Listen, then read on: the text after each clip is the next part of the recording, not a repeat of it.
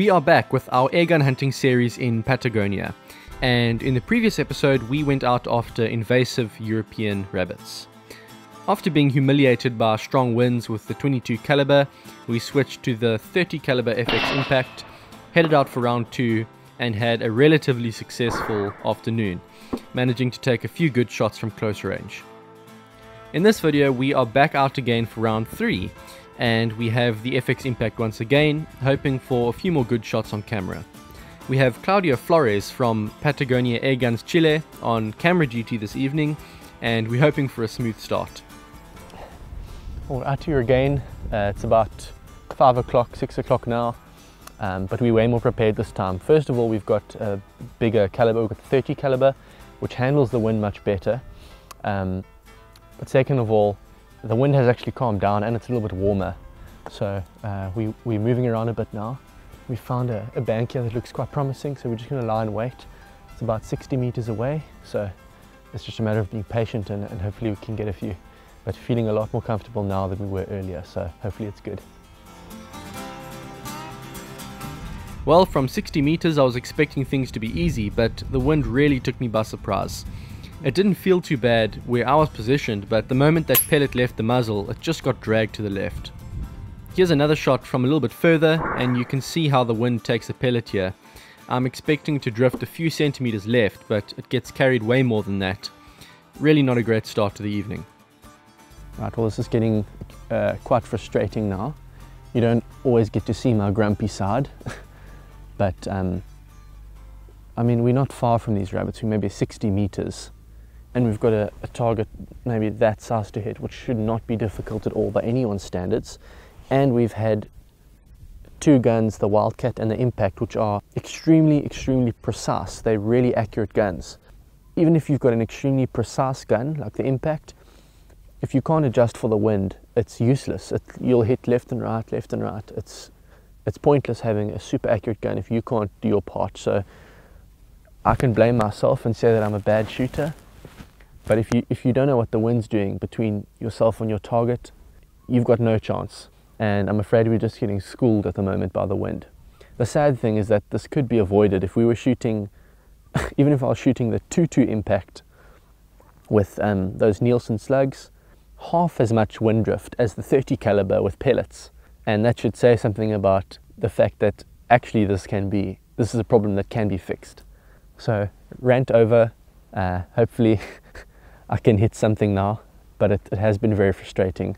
Um, and the sad thing is that it, it could be avoided, but I'm working on that. I'm hoping next time come out with the 2-2 barrel with the Nielsen slugs, like 45, 50 foot pounds. It'll be much better than this. But ah, there's another one up there, so let's see if we can get it right this time.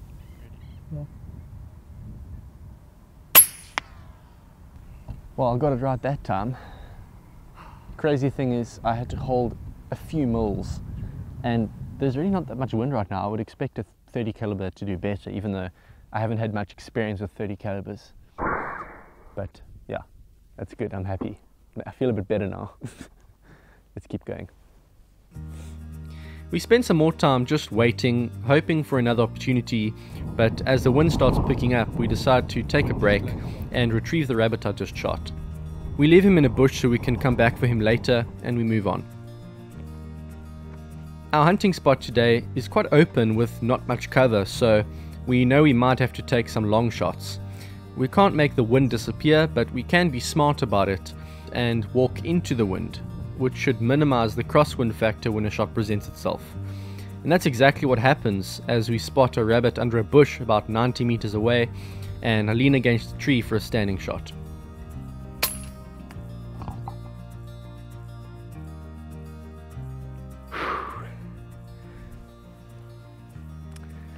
There you go guys. 90 meters on a jackrabbit.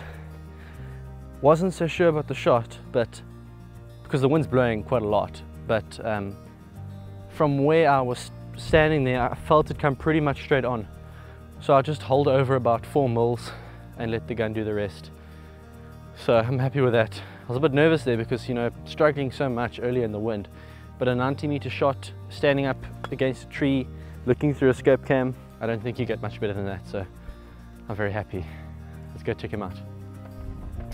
Well, there you go. It wasn't a perfect brain shot. It was actually just below the brain, but the 30 caliber has enough power to, you know, have that concussive damage. So, um, did the job. Happy with that. We get another opportunity from a similar distance shortly afterwards, but this time the wind is blowing from my right. I wasn't so sure if I'd hit it or not, but the scope cam shows the pellet impact just behind the front leg, and we were able to retrieve him from the hole.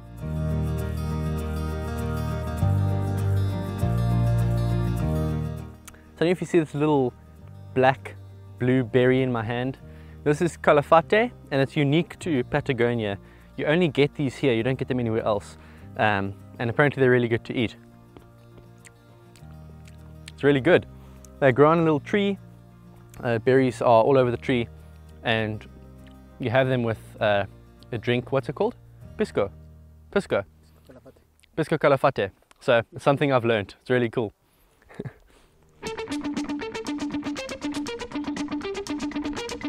we keep on moving and we pass plenty of rabbit warrens, so we know the rabbits are definitely around. And sure enough, after a fair bit of walking, we eventually found them. I know I'm in for some more long shots, so I try to position myself directly into the wind and I take a practice shot at a piece of hardened sand just to make sure that I have my holdover correct.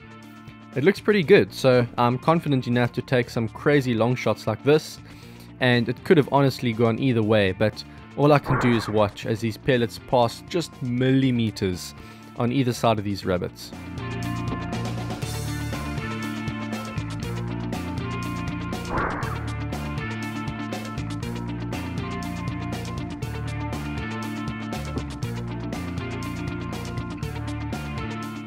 Third time lucky though, unfortunately not captured through the scope cam, but this shot is from about 140 meters.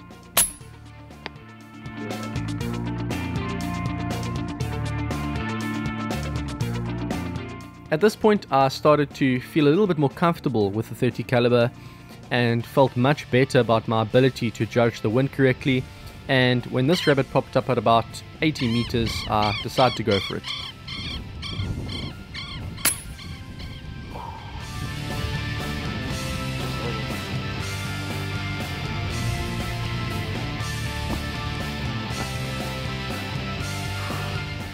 Difficult opportunity. I think I gauged it pretty well.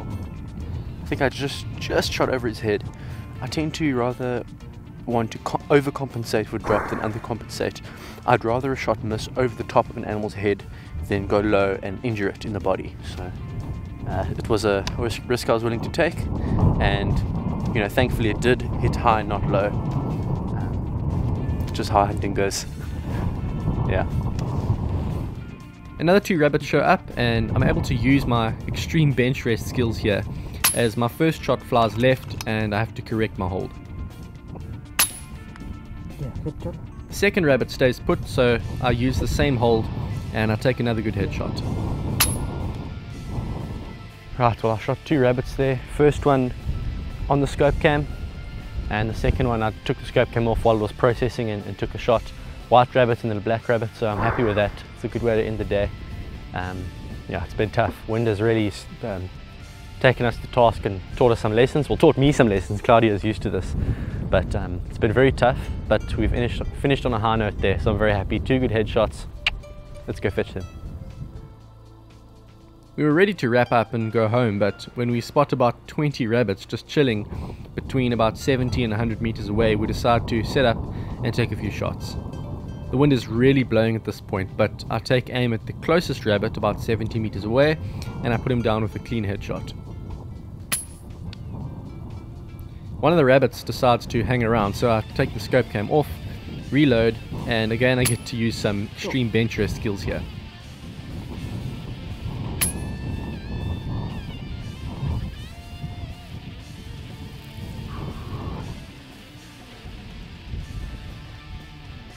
Two more down. First shot, perfect. Oh, still a lot of wind, but good shot. I'm getting used to this gun now. Um, yeah, I'm happy with that. Let's go take a look. Here's the scope cam replay of that first shot, and I did get a little bit lucky here as the pellet drops a little bit low and the ricochet bounces the pellet straight through his head. Right guys, so there's a few more rabbits that we just shot now. Um, I think we're going to call it there. It's been a fantastic day. Started off quite frustrating. We started off with the 2-2 Wildcat and as the wind picked up it just got very very difficult, pretty much impossible. I mean we had we had pellets drifting like this much in the wind, it's very difficult. So went back home, had some coffee, relaxed a bit, um, put the scope that was on the Wildcat onto the impact which was set up in 30 caliber. 30 caliber, I'm not used to 30 caliber at all. I don't use 30 caliber in South Africa. So on one side it's an advantage to have practice with a, a 22 and then to come out here and have a gun that's technically better in the wind. But on the other hand, it's, it's something that I'm not used to. So I almost had to learn this, the trajectories um, and the way the wind drifts of this gun from scratch today. And I think I did a pretty good job towards the end of the day. I started off really slow, um, wasn't sure what how much the pellet was going to drift in the wind. And then towards the end, once I got, got an idea of what was happening, um, I managed to take some, some pretty decent shots. I think I recovered fairly well. But um, got this black rabbit towards the end, which is something quite unique. I've shot a black rabbit once before in the UK when I was um, doing some rimfire rabbit hunting there um, in 2015 with Kayak Bryn and Air Arms. Um, but it's the second one I've got, pretty cool. The impact has done its job. I would have liked to have used slugs to be honest because the pellets just really, really, really struggle in this wind with their really low BCs high BC slugs would have really helped me. But either way, we got the hang of it. And once you get the hang of it with an accurate gun like this, it becomes much easier. So I'm very happy with the way it worked out. I'm very happy with the equipment. Thank you so much for watching and I'll see you next time.